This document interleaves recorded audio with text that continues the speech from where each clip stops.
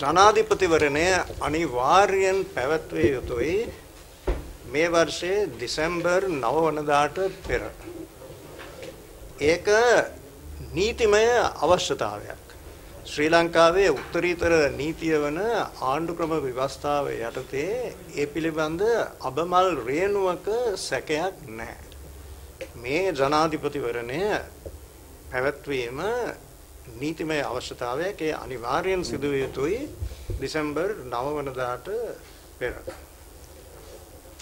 ජනතා පරමාධිපත්‍යයේ අත්‍යවශ්‍ය කොටසක් තමයි සර්වජන ඡන්ද බලය නිසි වේලාවේ මැතිවරණ පැවැත්වීම. එහෙම දෙයක් සිදු වෙන්නේ නැත්නම් එවන් රටක අවම මට්ටමේවත් ප්‍රජාතන්ත්‍රවාදය ක්‍රියාත්මක වෙනවා කියලා තර්ක කිරීමට පුළුවන් කමක් නැහැ. අද අපේ රටේ තියෙන తත්වය තමයි පළාත් සභා 9න් 8ක් අකර්මාන්‍යයි. පළාත් සභා 8ක් නැත. පළාත් සභා නැහැ. ඒ පළාත් සභාවල අමාත්‍ය මණ්ඩල නැහැ.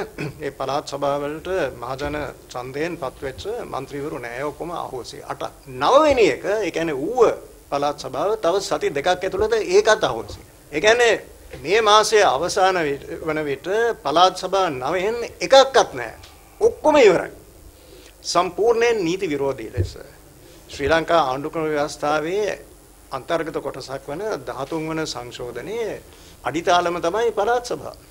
දැන් පළාත් සභාව හෝසි කරලා නීති විරෝධී විදිහට මැතිවරණ නොපැවැත්වීම නිසා පළාත් පාලන ආයතන මැතිවරණය අවුරුදු දෙකමාරක් කල් දැම්මා. දැන් ඒ විදිහට ජනාධිපතිවරණය කල් දැමීමට කිසිසේත් අපි ඉඩ තියන්නේ නැහැ. ඒ මොකද මේ රටේ ජනතාවට අයිතිවාසිකමක් තියෙනවා. Taman කැමති කෙනෙක් පත් කරගන්න ජනාධිපති හැටියට 2019 දෙසැම්බර් 9 වෙනිදාට පෙර. ඒ වෙනුවෙන් අපි පැහැදිලිව පෙනී සිටිනවා. අතිගරු මෛත්‍රීපාල සිරිසේන ජනාධිපතිතුමාගේ නිල කාලය ආරම්භ වූ දිනය ගැන කිසිම සැකයක් නැහැ. ඒක ඉතාමත් පැහැදිලි. එතුමාගේ දූර කාලය ආරම්භ වුණේ 2015 ජනවාරි 9 වෙනිදා.